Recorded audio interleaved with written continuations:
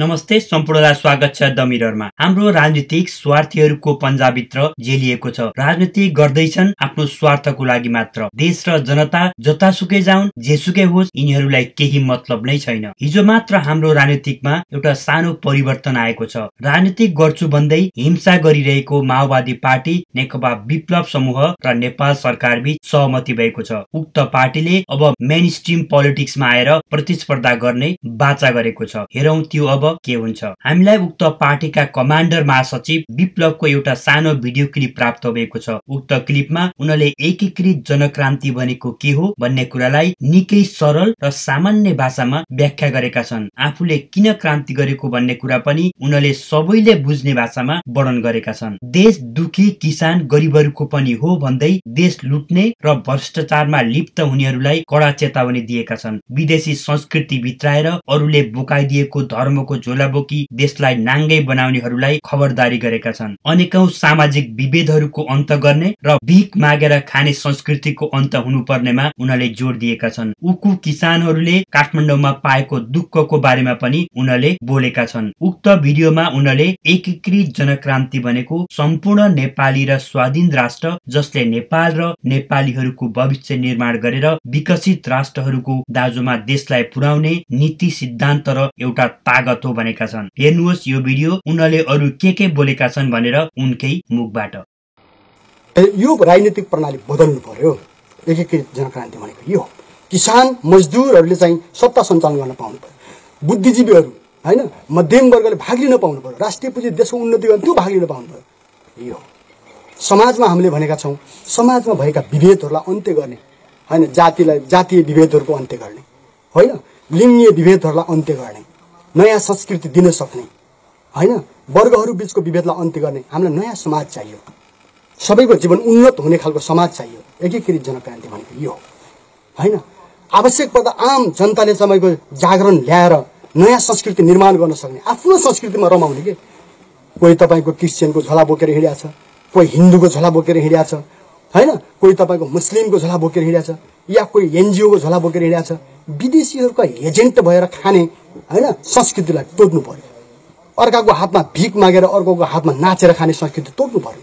अर्काको चाकरी गरेर गुलाम भएर खाने संस्कृतिलाई तोडिदिनुपर्छ त्यो संस्कृति बनाउने नयाँ जनताको खुट्टामा उभिएर आफ्नो हामी आफै पुष्टि गर्छौँ। हाम्रो पार्टी आत्मनिर्भर छ। हामी गौरवका साथ भन्छौँ। हाम्रा हरेक नेता र कार्यकर्ताहरू श्रममा भाग लिन्छ उत्पादन हुन्छ। हामी आफै टिक्छौँ। हाम्रो जनमुक्ति सेनाले भाग लिन्छ श्रम गर्छ। यो नेपाली समाजमा चाहिँ नयाँ संस्कृतिको विकास गर्नुपर्छ। एकीकृत जनक्रान्ति भनेको यो हाम्रो देशलाई स्वाधीन बनाउनुपर्छ। विदेशीहरूको आठ वर्षमा चल्नेबाट अन्त्य गरिदिनुपर्छ। होइन?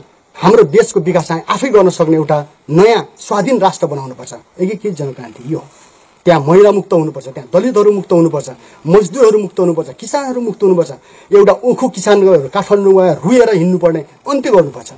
होइन? एउटा विद्यार्थीले पढ्नै नपाउने अन्त्य गर्नुपर्छ। एउटा युवाले उपचारै नपाउने अन्त्य गर्नु पऱ्यो नि।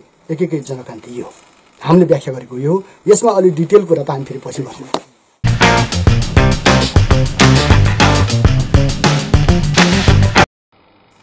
यो राजनीतिक प्रणाली बदल्नु पर्यो एकीकृत जनक्रान्ति भनेको यो किसान मजदुरहरूले चाहिँ सत्ता सञ्चालन गर्न पाउनु पर्यो बुद्धिजीवीहरू होइन? मध्यम वर्गले भाग लिन पाउनु पर्यो राष्ट्रिय पुँजी देशको उन्नति गर्न त्यो भाग लिन पाउनु पर्यो यो। समाजमा हामीले भनेका छौँ समाजमा भएका विभेदहरूलाई अन्त्य गर्ने होइन जातिलाई जातीय विभेदहरूको अन्त्य गर्ने होइन लिङ्गीय विभेदहरूलाई अन्त्य गर्ने नयाँ संस्कृति दिन सक्ने होइन वर्गहरू बिचको विभेदलाई अन्त्य गर्ने हामीलाई नयाँ समाज चाहियो। सबैको जीवन उन्नत हुने खालको समाज चाहियो। एकीकृत जनक्रान्ति भनेको यो होइन आवश्यक पर्दा आम जनताले तपाईँको जागरण ल्याएर नयाँ संस्कृति निर्माण गर्न सक्ने आफ्नो संस्कृतिमा रमाउने के? कोही तपाईँको क्रिस्चियनको झोला बोकेर हिँडिया छ कोही हिन्दूको झोला बोकेर हिँडिया छ होइन?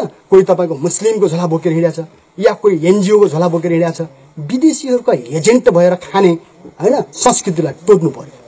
अर्काको हातमा भिख मागेर अर्काको हातमा नाचेर खाने संस्कृति तोड्नु पर्यो। अर्काको चाकरी गरेर गुलाम भएर खाने संस्कृतिलाई तोडिदिनुपर्छ त्यो संस्कृति बनाउने नयाँ जनताको खुट्टामा उभिएर आफ्नो हामी आफै पुष्टि गर्छौँ। हाम्रो पार्टी आत्मनिर्भर छ। हामी गौरवका साथ भन्छौँ। हाम्रा हरेक नेता र कार्यकर्ताहरू श्रममा भाग लिन्छ उत्पादन हुन्छ। हामी आफै टिक्छौँ। हाम्रो जनमुक्ति सेनाले भाग लिन्छ श्रम गर्छ। यो नेपाली समाजमा चाहिँ नयाँ संस्कृतिको विकास गर्नुपर्छ। एकीकृत जनक्रान्ति भनेको यो हाम्रो देशलाई स्वाधीन बनाउनुपर्छ। विदेशीहरूको आठ वर्षमा चल्नेबाट अन्त्य गरिदिनुपर्छ। होइन?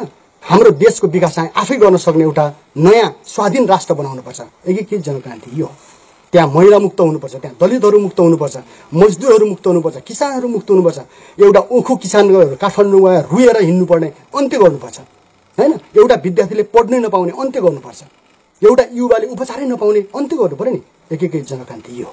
हामीले व्याख्या गरेको यो यसमा अलिक डिटेल कुरा त हामी फेरि पछि गर्छौँ। आजको कार्यक्रम कस्तो लाग्यो? के विप्लवले भने जस्तै एकीकृत जनक्रान्ति हाम्रो पालामा सम्भव छ जसले हामी र हाम्रो राष्ट्रलाई स्वाधीन र विकसित राष्ट्र बनाओस्? यसको बारेमा तपाईँको विचार हामीलाई लेखेर पठाउन नबिर्सिनुहोला। हाम्रो कमेन्ट बक्समा अथवा हाम्रो email ID info at the mirror online dot कममा पनि तपाईँले आफ्नो विचारहरू लेखेर पठाउन सक्नुहुनेछ। यदि हाम्रो च्यानललाई सब्सक्राइब गर्नुभएको छैन भने कृपया सब्सक्राइब गरेर हामीलाई मोटिभेसन पनि गर्दै गर्नुहोला। आजको कार्यक्रमबाट म लगायत हाम्रो सम्पूर्ण द मिरर टिम पनि बिदाउन चाहन्छ। हवस् त नमस्ते।